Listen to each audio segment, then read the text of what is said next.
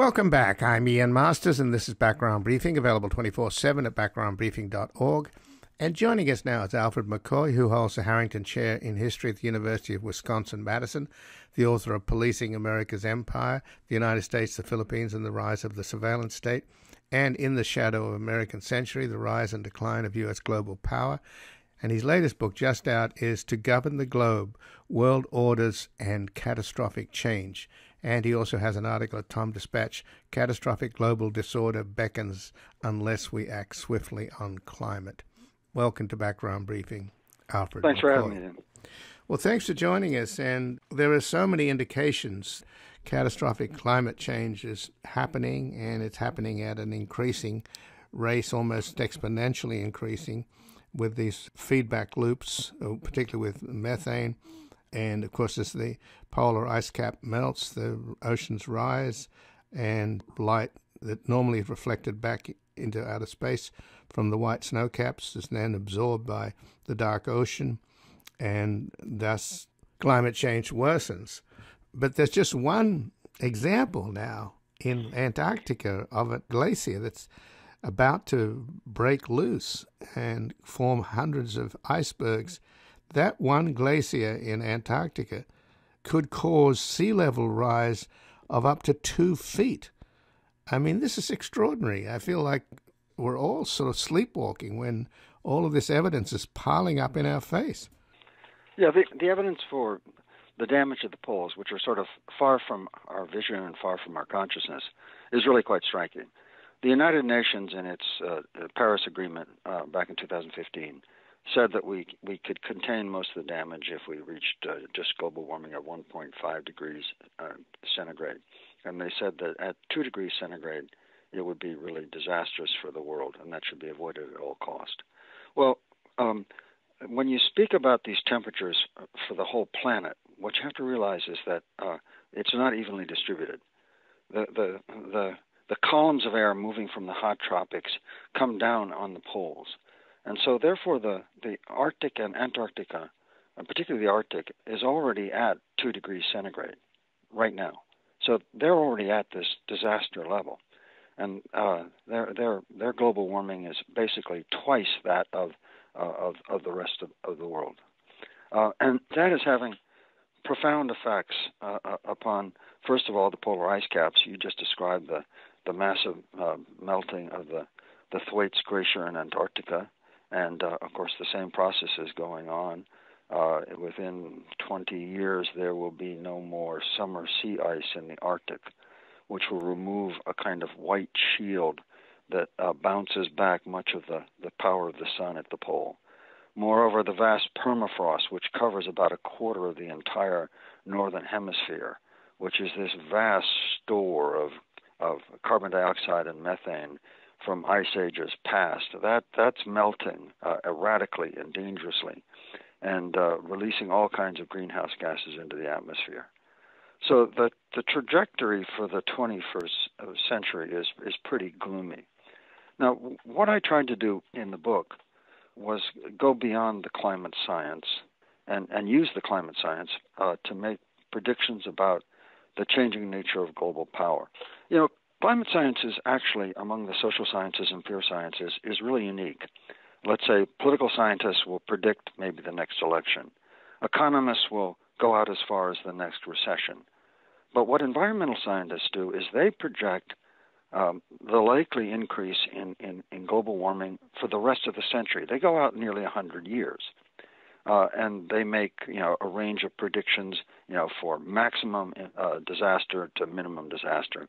Um, and of course, it looking like it's the maximum that's likely to happen. So, what I did in my book, To Govern the Globe, was to simply take that environmental science, and they're very clear, mathematically sophisticated, scientific project- projections, and I tried to lay on top of that the future direction of global power, the, the political impact of climate change. And what I found was two things. Uh, first of all, Washington's world order which has governed the globe for the past 70 years, is likely to, to collapse sometime around 2030.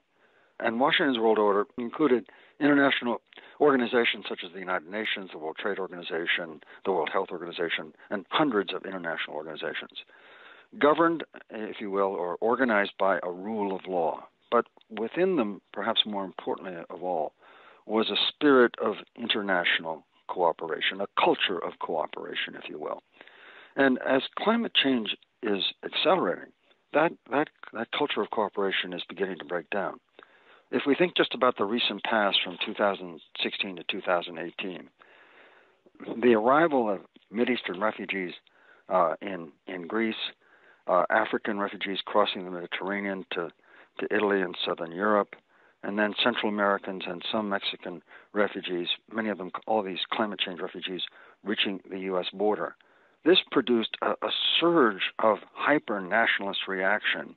Britain's Brexit, leaving the European Union, the rise of ultranationalist parties in, in Europe, and then, of course, the election of Donald Trump under the campaign slogan Build the Wall to keep out the Central American migrants.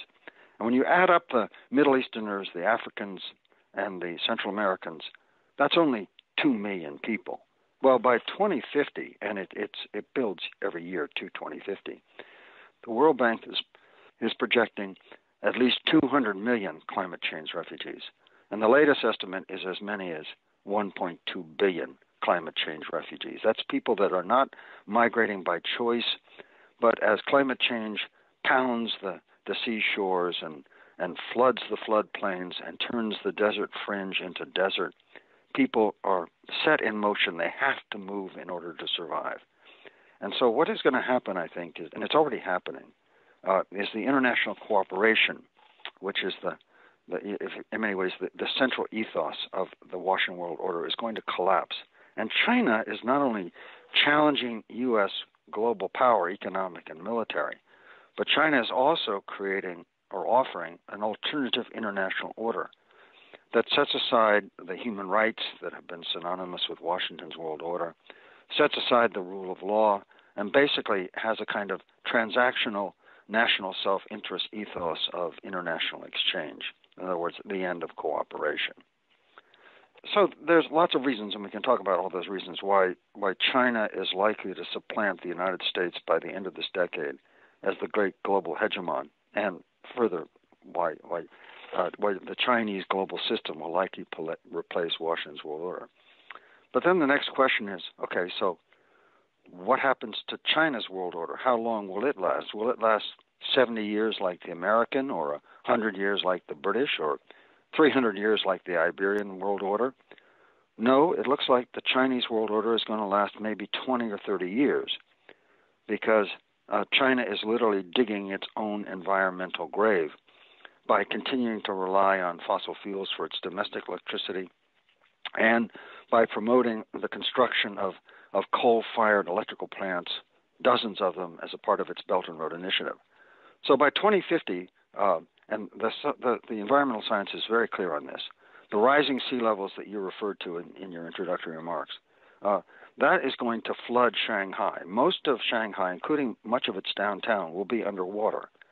Uh, Shanghai was dredged from swamp and sea starting in the 15th century, and to the waters it will return. Not only that, but starting around 2060, uh, and maybe a little bit earlier, China is going to start, particularly the North China Plain between Shanghai and Beijing, which is home to 400 million people today. That heavily populated region, that agricultural heartland of China, is going to be racked by devastating heat waves. And in the last decades of the century, the projections uh, are that China's North Plain will experience five periods of 35 degrees centigrade wet bulb temperature. Now, what does that mean? Okay, that's a temperature when the balance of heat and humidity is such that the human body can't sweat. So, a healthy adult, seated, not moving at all, under 35 degree wet bulb temperature, will be dead in six hours. And so, the, the North China Plain, China's agricultural heartland, will become one of the least habitable, if not the least habitable, place on the planet by 2070. So, so when you do these projections, what you see is that roughly around about 2050, the world will not have a functioning international system. The U.S. global power will be long gone. China will be forced to retreat from its international obligations, such as they might be, to manage its own domestic crisis. And so the world is going to be faced with a need for a very new kind of global governance. Well, the global governance in terms of dealing with climate change, we just witnessed that in um, Glasgow, and they couldn't even agree on getting rid of coal fired plants. You just mentioned how the Chinese are building them at a great rate, and China lobbied against the idea of phasing out coal. And the compromise was, in the language, was phasing down. So contrast that with what you're telling us, Alfred McCoy, and it's clear that we are not stepping up to the plate, to say the least. Yeah, I mean, uh, um, you know, the the the Glasgow was a mix of, of good and bad news. For example, China and the United States, through the work of Ambassador John Kerry, uh, signed a joint agreement, made a joint announcement of their shared commitment to uh, carb, to being carbon neutral, uh, to ending uh, greenhouse gas emissions. Okay, very important accord. But then when you look at the fine print, that's where that phrase "phase down" first came in. China committed itself to phasing down coal, and they used this very tricky language. They said they would do this in their 15th five-year plan. Okay, well, that 15 five year plan is set to start in 2025. So what China announced, and, and people did the press missed this. Okay, what China announced is they won't even start curbing greenhouse gas emissions until 2025, basically five years from now. All right, and the clock is ticking. These are critical five years. All right, and then also at Glasgow, India said that they would be carbon neutral by 2070. Well, you know, uh, China, uh, just as China is digging its environmental grave by building these coal-fired plants, India is doing the same, because that same research that said that the North China Plain was going to be racked by you know, these heat waves also said that the second region of the world that's heavily populated, that's going to have the same events, not quite as bad as China, but bad enough, is the North Gangetic Plain, which is in many ways the demographic heartland of, of India. Uh, so both of these powers, which together India and China account for 37% of current, current greenhouse gas emissions, both of them are, are, are literally digging their own graves.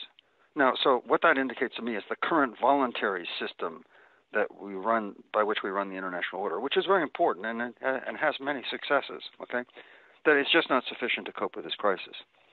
And so what I see is that as this climate crisis develops and worsens with each passing year, that, that there is likely, or there, hopefully, one could even say, there will there will be a, a, pressure for the nations of the world to concede three small areas of their national sovereignty to a more empowered UN or similar organizations. Uh, uh, the first one would be that, uh, let's say around 2050, if any nation is still is still emitting greenhouse gases in the atmosphere, they would be heavily sanctioned and and uh, and made to switch to carbon neutral energy. That the UN could regard this, the international community could regard this as being tantamount to invading another country, which under the current world order should entail sanctions. A second thing would be that a successor to uh, the UN High Commissioner of Refugees, or a more empowered form of that office, would be charged with dealing with this, this human tide. It's going to be something like one seventh of humanity, if that 1.2 billion figure of climate change refugees by 2050 is accurate. It could be that one seventh of humanity will be in motion. And we, we have a choice between absolute global disorder. I mean, imagine it you know, nations fighting over water, primordial struggles over land, you know, kind of chaos and violence spreading around the globe, uh, and nations closing their border, pushing back refugees with, with gunfire and tear gas and worse. Uh, boats full of refugees being shoved back into the sea to drown. I mean, it could get pretty grim. And so there would need to be the, the voluntary resettlement of refugees would need to become mandatory that nations in the temperate zone would be required to take their fair share of humanity. A third and final thing, uh, and you mentioned Glasgow. At Glasgow, there was much discussion of uh, significant financial aid. The, the, the, wealthy nations are supposed to provide it under the Paris Agreement.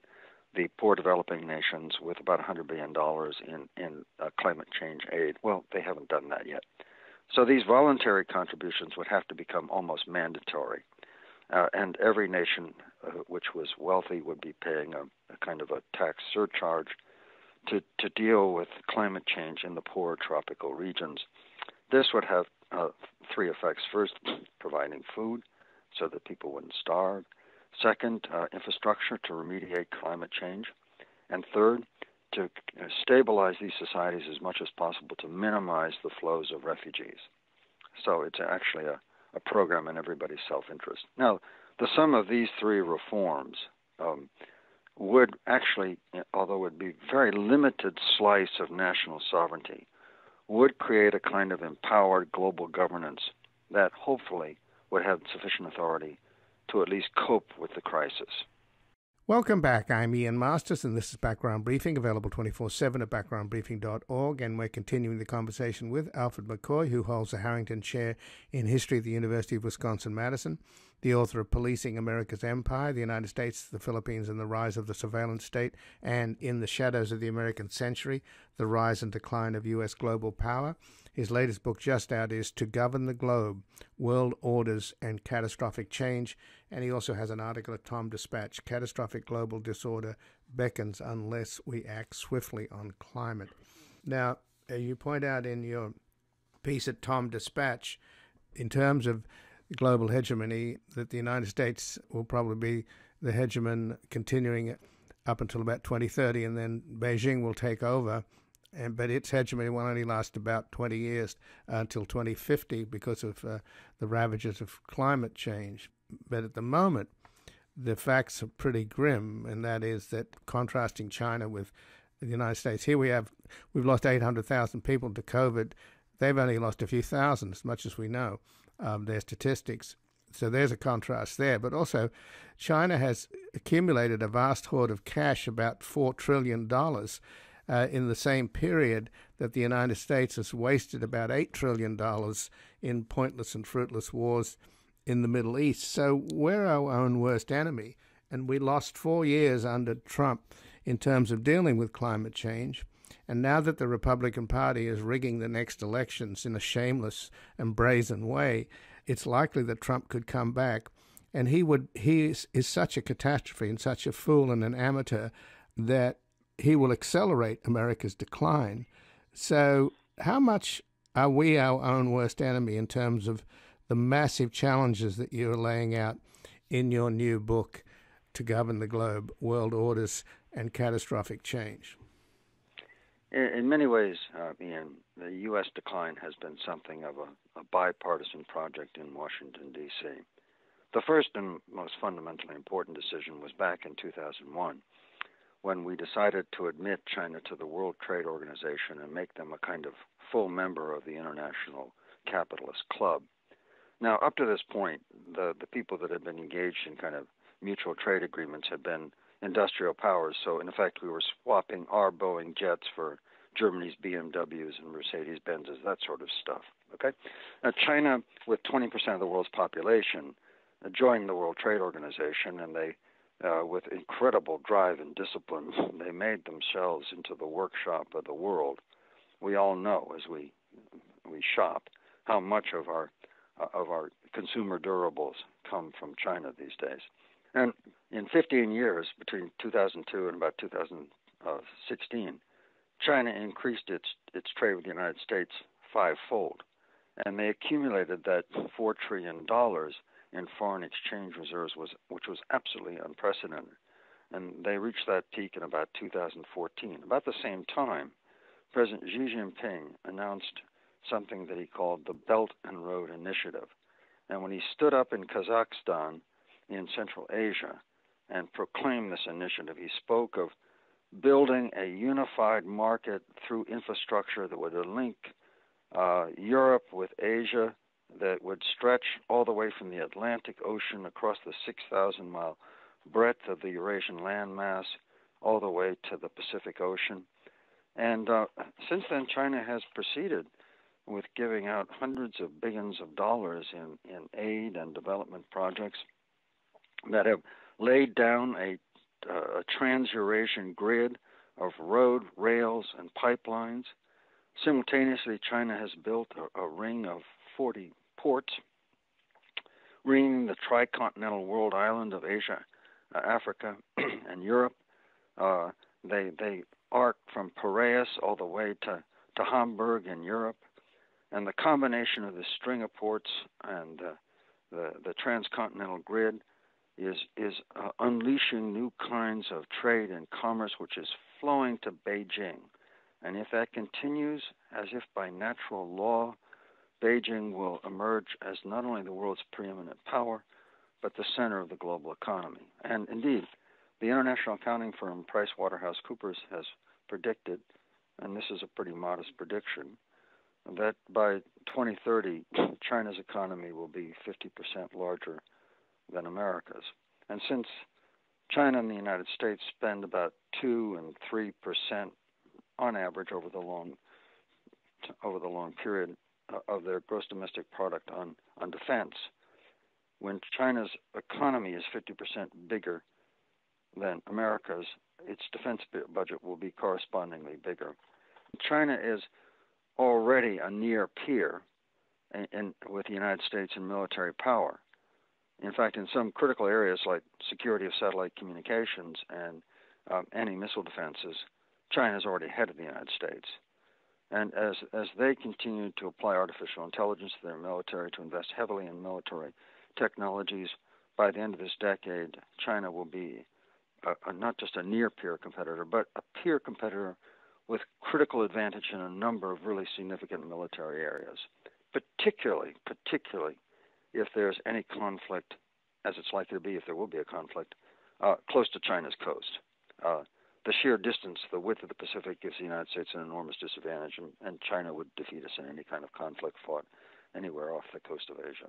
So, all of this means that China is rising. Now, another aspect you mentioned, Ian, was while China was building this industrial complex, becoming literally the workshop of the world, uh, and investing these these foreign exchange profits in that in that in that effort, the United States took that eight trillion dollars and invested it in in the Middle East, uh, invading Iraq and invading Afghanistan. And if there was an economic logic to it, we were going to turn the green zone in Baghdad into the epicenter of kind of an American imperium in the Middle East that would give us a, a secure hold over the oil of the Middle East. That was the only reason to be there economically. Well, in effect, we invested $8 trillion in securing the world's oil just at the time that oil was joining cordwood and coal in the dustbin of history. In other words, it was a gross strategic miscalculation. So the combination of these bungled decisions by Washington, admitting China to the World Trade Organization, you know, in, investing our military might in the Middle East, letting China grow unchecked, all of that you know, basically preordained America's global power to decline. And it was all imperial hubris. I mean, you you look back to the kinds of things that were said in the 1990s up to 2001. You know, that was when we were we were talking about um, the end of history, that the whole world would be transformed into into free market democracies following the U.S. model. That there would be that that, that, that, that the, the end history would end because this was the destiny of humankind for all times, okay? Uh, that was an extraordinary period of imperial hubris. And, and our downfall was very quick indeed. And meanwhile, in the real world, the world uh, that we all share, lifeboat Earth, if you will, global carbon dioxide emissions rose by a staggering 50%. I'm reading from your article, uh, Al staggering 50% from 22.2 gigatons in 1997 to a peak of 33.3 gigatons in 2019. So that's the reality we're dealing with. And we talked, started out talking about how a giant glacier in Antarctica could peel off into the ocean and cause sea level rise of two feet, which is just extraordinary. That could happen relatively soon. So when you talk about the need for the UN to come up with sort of a new global governance regime, it obviously is necessary to meet the horrendous challenges. But knowing how chaotic things are now, uh, and how much national rivalry is dictating what's happening. I mean, the Chinese basically think that the United States is a fading power and that they know that they're a rising power, and the communist government basically feels that the United States is trying to sabotage China's rise. So there's a lot of bitterness there, and you know that China and Russia has just had a, the leaders met 37 times. They just had a virtual meeting last Wednesday. So my sense is that what you're talking about in terms of new global governance structures of dealing with refugees and climate change is probably incredibly optimistic. That the reality may be much grimmer. Uh, Ian, you're you're uh, accurately speaking on two levels. One about kind of uh, global governance, um, and the other about the, the, hegemonic power of individual superpowers: China, the United States, Russia. Okay, uh, and, and, the two operate kind of in tandem. At the end of World War II, the United States used its extraordinary global power, its its its victorious military and an economy that controlled half of the world's industrial production and it used that to build an international order of the United Nations uh, grounded in the rule of law and in a spirit of cooperation. And at critical points in the history of the United Nations and in this global governance, U.S. Globe, U.S. hegemonic power has been critical to sustaining this structure. So the question we're faced now is can this international order of, of international cooperation, the UN and all the rest, can that survive the decline of American hegemony, uh, of American imperial power. And as I said earlier, China is not only trying to supplant the United States as the global hegemon, but is trying to construct an alternative international order that um, sets aside human rights, the rule of law, and all the rest. And so that's a critical uh, question we're facing. In term, at the level of, of imperial power, uh, the chain, the, the, the relations between Russia and China that you mentioned are actually, I think, very important. Um, these are the two great Eurasian powers, and Russia and China were briefly allied at the start of the Cold War under Stalin and Mao, with Stalin being dominant and Mao being kind of the aspirant communist leader. Then the Sino Soviet split occurred. They became really hostile at the point of near, near war, uh, with China constructing massive civil defense, not against the U.S., but against, against the Soviet Union. Uh, and uh, now, for really since the first time since the the early years of the Cold War, China and Russia are are closely allied. They're both members of uh, China's equivalent of NATO, the Shanghai Cooperation Organization. Uh, they have joint military maneuvers, and they're both allied at trying to to break the U.S. dominance of Eurasia. Look, one thing I established in the book, and I deployed geopolitics in the book, the study of geopolitics. And what I discovered was, was, was that over the past 600 years, there have been a succession of global hegemons um, Portugal, Spain, Holland, Britain, the United States, and now China. And despite the, the, the long span of time and the incredible diversity of these nations, they all shared one thing in common in their bid for global power they all dominated the Eurasian landmass. During the Cold War, the United States controlled the axial ends of Eurasia through the NATO alliance in the west and through four bilateral mutual defense pacts in the east with Japan, South Korea, the Philippines, and Australia, all signed in the same year, 1951. And then the United States overlaid on top of that rings of steel, the Sixth uh, Fleet of the U.S. Navy in the Mediterranean and the Atlantic, the Seventh Fleet in the Indian Ocean and the Pacific, and then most recently, 60 drone bases stretching from Sicily all the way to Guam. Okay, so now Russia and China are cooperating in punching through these rings of steel that the United States laid down over Eurasia, which was the key to U.S. geopolitical power. And they are systematically breaking U.S. control.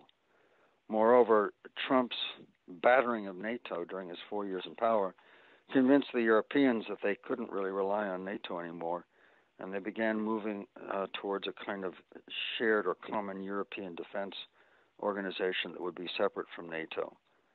China's economic spread is weakening our relations with those four key allies that I mentioned Japan, South Korea, the Philippines, and, and Australia. Uh, and so it looks like China and Russia together are breaking the U.S. hold over Eurasia.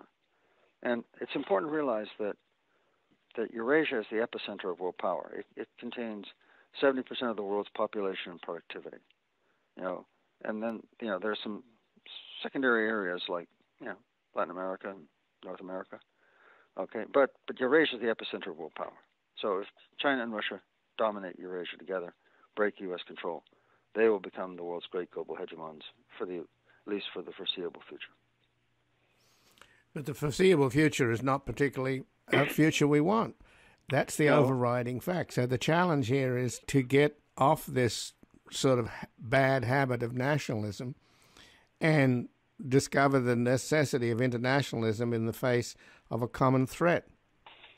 Yeah, but I agree. And But the kinds, the, the, the sorts or the portions of sovereignty, the very slender slices of sovereignty that the nations of the world would need to give up in order to create a, a, a, a global instrument, a global governance capable of managing, well, first of all, reducing climate change and managing the consequences, the very real economic, social, and human consequences, would be actually quite small. It just governs emissions. In other words, we now have, you know, a way of moving away from coal-fired electrical plants. You know, solar, wind, and actually, okay, and this is not so popular, but nuclear in order to provide the constant generation to fill in for the blanks in the in the in the solar and wind power. Okay, so we have non-emitting sources of energy that we can readily develop very very quickly. All that takes is the investment of capital. It's an enormous market opportunity for small entrepreneurs doing solar panel installation, all the way to, to major financiers that would finance the transformation of electrical grids. We can can do this, okay? So that's not a big deal, all right? Second, the resettlement of refugees. We already have a UN High Commissioner of Refugees. We already have protocols and procedures for doing this. All we need to do is expand them and make them mandatory so that every nation around the world does it. So it doesn't become, uh, well, like what Belarus just did with Poland and Europe, you know, attracting Middle Eastern refugees sending to the border, you know, creating a crisis on the Polish border in order to, to make a diplomatic ploy so that the the dubious president of Belarus could maintain his office and legitimacy. All right, so you know that, those kinds of cynical games that are being played with the refugees. Uh, if the nations of the world agreed that that they would they would participate as a common project in the resettlement of refugees, again that would end that. That would make that a rational process. And then finally, the transfer of aid. The, the nations of the world have already agreed in, on, in the process. We've set a figure of $100 billion. It's just a question of, of extending that and maybe transferring it from voluntary to mandatory. These are very slender concessions of national sovereignty, and people would still have their constitutions, their national languages, flags, the whole bit. All right. So this doesn't take a great deal. And you know, when you think about you know how far we've come with the UN, back in the late 19th century, when the first international conferences were set up talking about international agreements to end war as an instrument of, of national power, um, the idea of, of something as powerful as the UN seemed almost preposterous. And yet the, the UN actually does have some real power.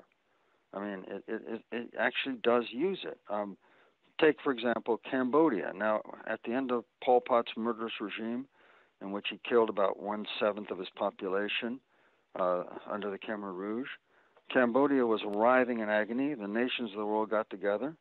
They were tired of the great power politics that China and the U.S. were playing with Cambodia, and they created a international government called UNTAC, the UN Transitional Authority for Cambodia, they used UN peacekeepers as the army. They came in, they took sovereign control over Cambodia.